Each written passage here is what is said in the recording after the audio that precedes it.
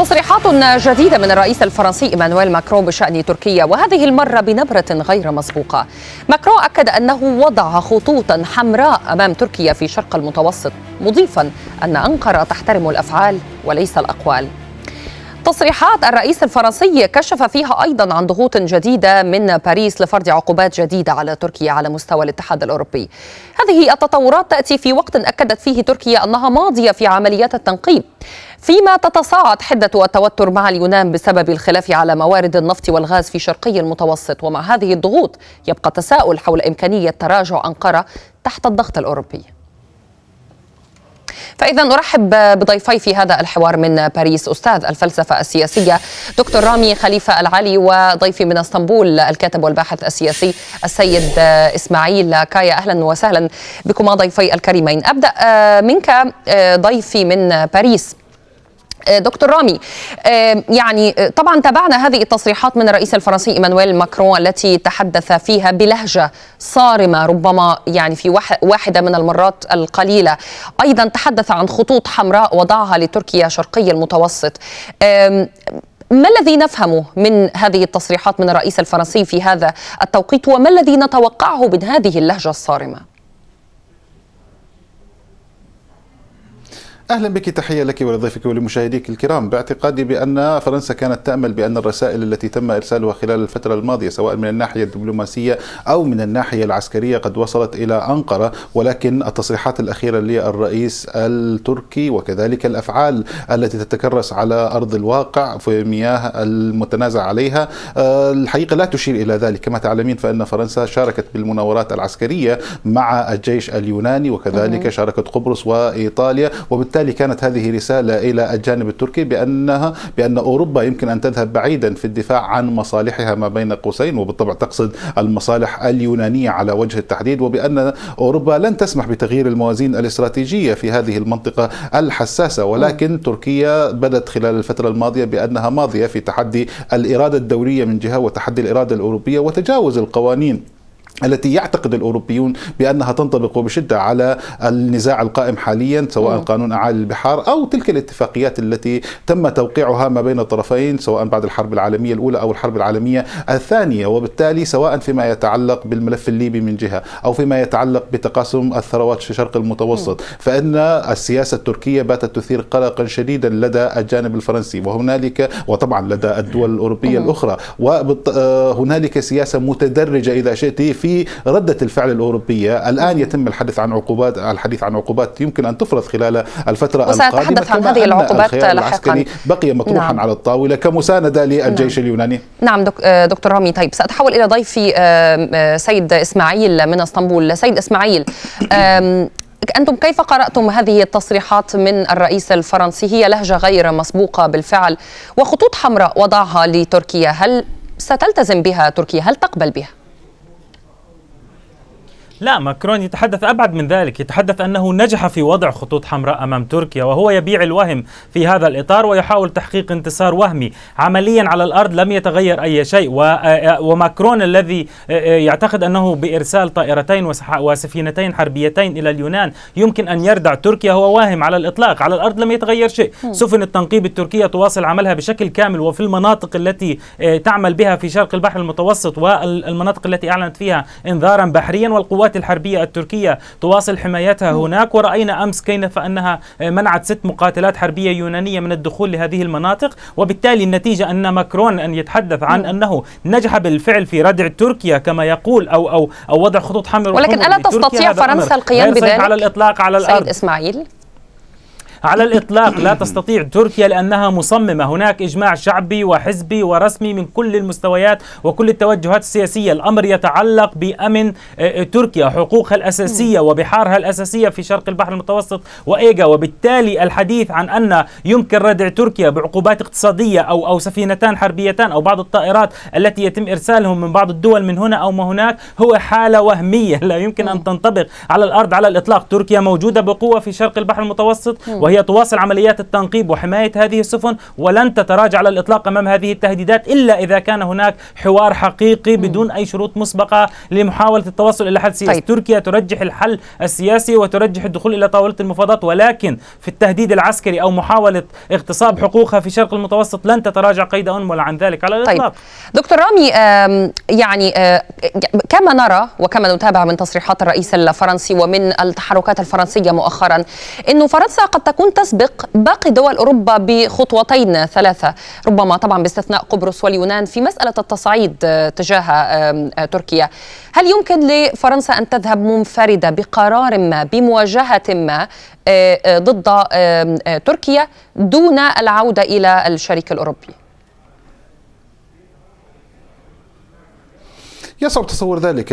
ربما في بعض المناطق نعم دعنا نقول في ليبيا على سبيل المثال هنالك إجراءات فرنسية ربما هي منفردة أو أتت في خارج سياق الاتحاد الأوروبي لكن في منطقة شرق المتوسط لأن المسألة متعلقة بالاتحاد الأوروبي ككل. صحيح أن هنالك موقف مختلف ومتباين من حيث التصريحات ولكن عمليا لا يمكن القول بأن فرنسا لديها سياسة مختلفة عن السياسة الألمانية على سبيل المثال أو عن الدول الأوروبية الأخرى. حتى بالمناسبة الخلافات التي كانت سائدة ما بين إيطاليا وفرنسا فيما يتعلق بالملف الليبي تم تجاوزها فيما يتعلق بمساندة اليونان، وبالتالي هنالك على مستوى الدول الأوروبية إجماع على مساندة اليونان في مواجهة الجانب التركي، ولكن هنالك اختلاف في آلية تلك المساعدة، على الصعيد الألماني على سبيل المثال فإن وزير الخارجية قام بزيارات مكوكية إلى كل من أنقرة واثينا وحاول القو... القيام بدور الوساطة ما بين الطرفين، الجانب الفرنسي ربما يأخذ الطرف الأكثر تشددا في هذه المسألة، طبعا المسألة ليست فقط آه، آه، قطع عسكرية بحرية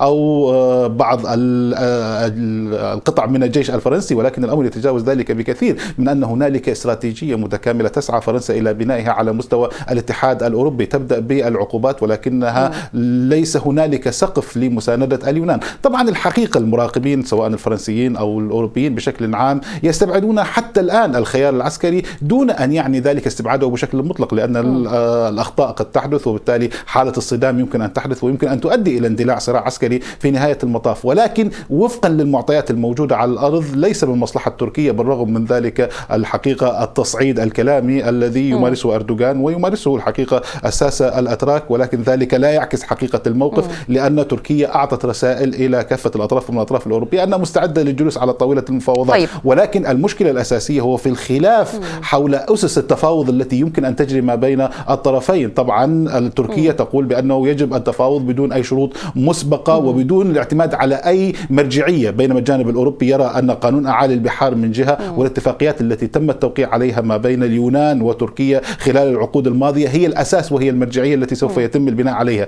وبالتالي الحقيقة هنالك مستوى معين من التوتر حتى الآن موجود وأوروبا تريد أن آه، تستوعب أنقرة الرسائل الأوروبية لحتى لا تصل الأمور إلى طيب. مرحلة خطيرة تصبح خارج السيطرة. أذهب إلى سيد إسماعيل. سيد إسماعيل من هذه النقطة آه، عندما نتحدث عن الدور الألماني لأنه ألمانيا لعبت دور وساطة في الفترة الماضية وأرادت أن تبدو وكأنها محايدة يعني آه، آه، بشكل يعني إلى حد ما بين الطرفين اليونان وقبرص من ناحية وتركيا من تركيا من ناحية أخرى.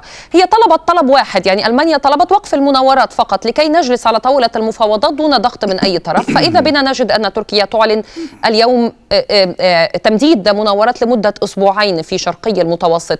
لماذا تتجاهل تركيا الجهود الألمانية لتهدئة الأمور آه، آه، بينها وبين اليونان.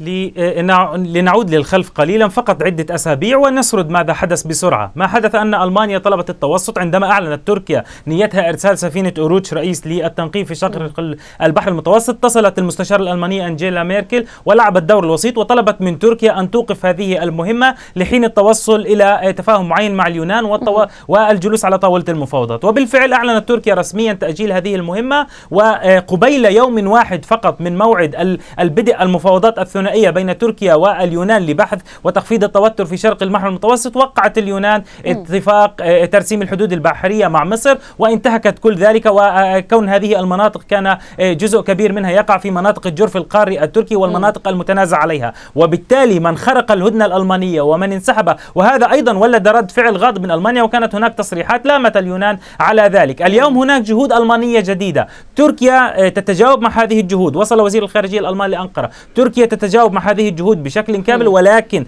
لا تريد أي شروط ولكن هي لن تأخذ خطوة إلى الخلف مقابل أن تستمر اليونان في خطواتها. تركيا ليست في موقف الضعيف وليست في موقف من يخشى التلويح ببعض العقوبات الاقتصادية الوهمية أو بعض السفن الحربية التي تتجول هنا وهناك. تركيا اليوم لديها شرط واضح لنجلس إلى طاولة المفاوضات بدون شروط. اليونان تريد وضع شروط أو وضع أسس مختلفة لهذا الأمر كما ذكر ضيفكم من باريس أو تريد أن أن تعتقد أن لكن ليس شروط على دعم اتفاقية. مشروعة. من الاتحاد الأوروبي. مشروعة قامت بتوقيعها اليونان استنادا إلى مياهها الإقليمية واستنادا إلى تفاهماتها مع الدول الأخرى ذات السيادة إيطاليا من ناحية ومصر من ناحية أخرى. هل هذه شروط هل تسميها شروط عندما نجلس ونبني على ما وصلنا إليه في هذه الاتفاقيات؟ ما المانع؟ تمام. من من المهم جدا أن نوضح نقطة في هذا الإطار، إذا كنا نتحدث بالقانون، قانون أعالي البحار يعني طبق بشكل أساسي على اليابس الأساسي للدول، المشكلة اليوم متعلقة بالجزر، هذه الجزر جزر متناثرة، تريد اليونان من كل جزيرة لا يتجاوز حجمها. عدة كيلومترات جرف قاري بحجم 40 أو 50 ضعف، على سبيل المثال جزيرة ميس تبعد عن الساحل التركي فقط 2 كيلومتر بينما تبعد عن الساحل اليوناني 800 580 كيلومتر، اليونان تريد لها جرف قاري 400 400 ألف كيلومتر. وبالتالي تريد حصار تركيا بشكل كامل من خلال جزيرة صغيرة. هذا القانون لا ينطبق على الجزر. وكان هناك لمحكمة للمحكمة الدولية فصلت في العديد القضايا بين الكثير من الدول وكانت تفصل لصالح لماذا الآن تطالب إذا تركيا بعد ما تم الإعلان العادل. عن اكتشافات نفطية واكتشافات للغاز كبيرة ومغرية جدا في البحر المتوسط. لماذا ظهرت فجأة هذه المطالبات؟ وهذا الإعلان من قبل تركيا بأن لها حق وجرف القاري لها وأن قانون أعالي البحر لا ينطبق على الجزر لماذا الآن؟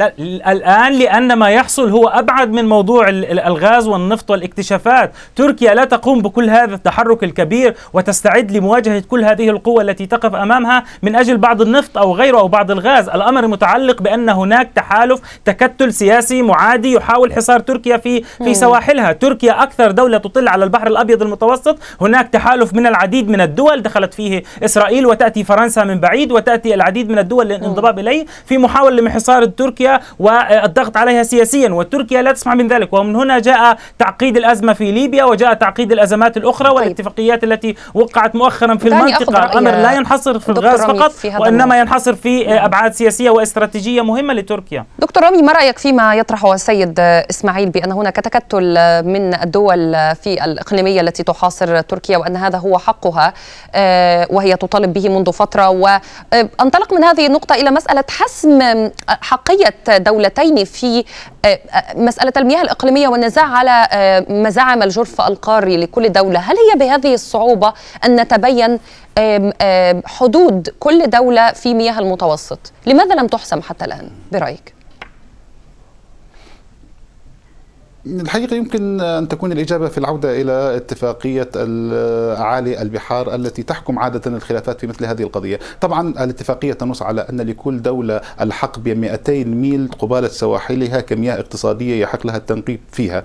هذا هذا من حيث المبدأ. طبعا هنالك فقرة خاصة فيما يتعلق بالجزر وفيما يتعلق بالشواطئ المتقاربة والمتلاصقة. هذه الفقرة تقول بأنه يجب أن يتم التفاوض ما بين الطرفين وأن لا يتخذ أي طرف أي إجراءات أحادية الجانب حتى يتم الفصل بهذه القضية من قبل طرف دولي أو من قبل محكمة دولية وهنا يتحدث عن محاكم خاصة أو محاكم معترف بها من الناحية الدولية. المشكلة التي حدثت أن تركيا ماذا فعلت؟ تركيا أقامت بتوقيع اتفاقية مع حكومة السراج وقامت بمحاولة فرض سلطتها وسيادتها على مناطق شاسعة هي تعتبر مياه اقتصادية وفقا لتلك الاتفاقيه اتفاقية أعالي البحار، خذي على سبيل المثال طبعا الجزر المأهولة تعامل معاملة الدول آه، تركيا وفقا للاتفاق الذي جرى مع حكومة السراج آه، آه، تحكم سيطرتها على مياه جزيرة كريت. وهذا الحقيقة مناقض لكل لاتفاق أعالي البحار. وهنا الحقيقة كانت المشكلة. وبالتالي عندما بدأت تركيا بإجراءات أحادية الجانب فإن الأطراف الأخرى رجعت لمحاولة طيب أخذ رد في دقيقة واحدة لو تسمح لي دكتور رامي من سيد إسماعيل أعود إليك بسؤال أخير. في دقيقة واحدة ردك على هذه النقطة سيد إسماعيل. هذه الاتفاقية الموقعة مع ليبيا يعني ألم تأتي على المياه الإقليمية لجزيرة كريت؟ أتفق. أتفق مع مع مع الدكتور من باريس في الجزء الأول التي يتحدث أن ما يتعلق في الجزر يعود للحوار الثنائي بين الدول والتقاسم العادل، اليونان رفضت التقاسم العادل وأرادت وأصرت بتطبيق آه، قانون اعالي البحار على الجزر بمعنى أن جزيرة مثل جزيرة ميث آه، ميس في قبالة أنطاليا تريد أن تسلب كل ساحل هذا، إذا العقلية اليونانية تعني السلب كل شرق البحر المتوسط لصالح اليونان وهو هذا ما ترفضه تركيا وبالتالي رجعت تركيا لتوقيع الاتفاق مع مع مع ليبيا اليوم هي مصرة ومصرة تماما إما على التفاوض لتقاسم عادل لهذه الحقوق وهذه المناطق وإما أنها ستكون آه، تعمل بشكل أحادي وستواجه كل القوى التي طيب. تقف في وجه هناك لأن طبق. الأمر كما نعم. ذكرت يتجاوز موضوع الغاز والاكتشافات ويصل إلى أمور أبعد تتعلق بالحصار الاستراتيجي الذي تحاول بعض الدول آه، فرضه على تركيا في المنطقة تبقى لدي دقيقتان دكتور رامي ومن آه، ضمن ما تم الحديث عنه على مدار الأيام الماضية بين الشركاء الأوروبيين وجوزيف جوزيف بوريل وزير خارجية الاتحاد الأوروبي تحدث عن عقوبات وسمها لأول مرة. يعني هو قال أنه سيتم فرض عقوبات على سفن وقال ربما نذهب إلى قطاعات كاملة في آه، تركيا. يتم فرض عقوبات عليها. اليونان رحبت وقالت أنه هدفنا تحقق آه، بهذه العقوبات. هل تساهم هل بالفعل ستطبق عقوبات من هذا النوع؟ وهل تساهم في حلحلة الملف برأيك أم تعقده؟ الحقيقة فيما يتعلق بالعقوبات الأوروبية لا يوجد هنالك لدى المراقبين وبالنظر إلى تاريخ العقوبات التي فرضت من قبل الاتحاد الأوروبي على أطراف كثيرة لا يوجد أمل بأن ذلك سوف يغير من السياسة التي يتبعها الرئيس التركي رجب طيب أردوغان. هنالك شعور بأن هنالك انفلات في السياسة التركية. ليس صحيح أن هنالك تكتل إقليمي أو دولي يحاول حصار تركيا وإنما تركيا الحقيقة تدخل في مجابهة تقريبا مع الجميع لديها علاقة سيئة مع الدول العربية لديها علاقة سيئة مع الدول الاتحاد الأوروبي تلعب على التناقضات الروسية الأمريكية هنالك محاولة لفرض وجود ولفرض رؤية إمبراطورية أحيانا بما تتجاوز الإمكانيات التركية لدى الرئيس التركي رجب طيب أردوغان. وبالتالي ذلك الحقيقة قلب الحقيقة مختلف, مختلف شعوب ودول المنطقة وبالتالي تركيا في مواجهة مع الجميع. طبعا هنالك من وجهة النظر الأوروبية هنالك أزمة حقيقية في السياسة الخارجية من التركية إلى الآخر؟ فرنسا التي أتت وهذا الحقيقة بتسعى إليه الدول الأوروبية عبر عبر العقوبات عبر العقوبات التي فرضت عبر العقوبات التي ستفرض في محاولة لإيصال تلك الرسالة. نعم. لكن إن لم يتغير نمط ونهج السياسة الخارجية التركية باعتقادي أن ذلك سوف يؤدي إلى نعم. مشكلات كثيرة. شكرا جزيلا لكما. من باريس أستاذ الفلسفة السياسية دكتور رامي خليفة العلي ومن إسطنبول الكاتب والباحث السياسي السيد إسماعيل كايا. شكرا جزيلا لوجودكما معنا.